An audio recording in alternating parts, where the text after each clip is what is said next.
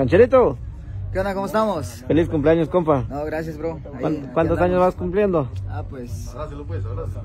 Eh, 21 años estoy cumpliendo aquí.